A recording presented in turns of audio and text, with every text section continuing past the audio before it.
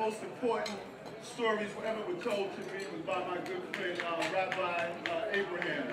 That's my aunt that's clapping along He told me about the story of the two hunters, and you probably heard it before, but I'm going to share it with you again. Two hunters in the jungle, and they're hunting for big game. And they come up to a lion, and one hunter looks at the other, and he says, let's run. And the other hunter says, you know, what's wrong with you? We can't outrun a lion. And the hunter replied, I don't have to outrun the lion. I just got to outrun you. and when Rabbi Abraham told me that, I laughed, but he had this serious look on his face. He says, Eric, that's what's wrong with America. We are merely trying to outrun each other. If they take away the variable supplement from the police, long as it's not my union, let me outrun them. If they try to destroy the UFT, well, as long as it's not my teachers, let me outrun them. If my neighbor's house is foreclosed, long as I can get mine refinanced, let me outrun that line. If my child is not adequately educated because there's stuff in my classroom, let me outrun that lion. If crime is suffocated and little children are carving highways of death with 9 millimeter bullets through our community, long as it's not my child and I can outrun that lion, let me outrun them. Let me tell you something. When that lion devours your neighbor, it's only a matter of time before his appetite comes to devour you. The goal, the goal of our conference, and we're Senator Peralta and John Sampson and, and Gustavo, what we're saying, the goal is not to outrun the darn lion, it's to kill the lion so the jungle will be safe for all of our community. That's what this is about.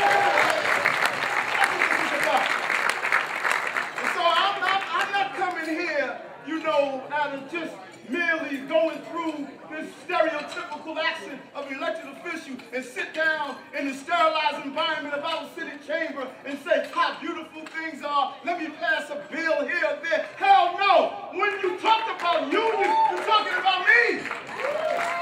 I'm a retired cop before I adorned a blue blue suit. I walked the beat and strapped on a bulletproof vest and protected this city. When punks like others were running from us, we stood. Other people were waking up to alarm clocks. We woke up to gunshots and we didn't run. We didn't run. How dare you now come to us, the union employees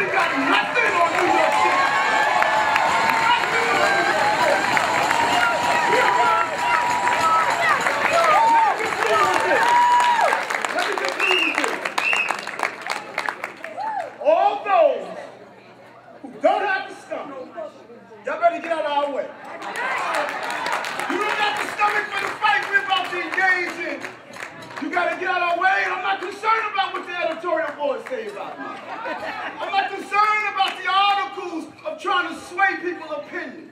I'm not concerned how they want to demonize and call us names. All that is irrelevant to me.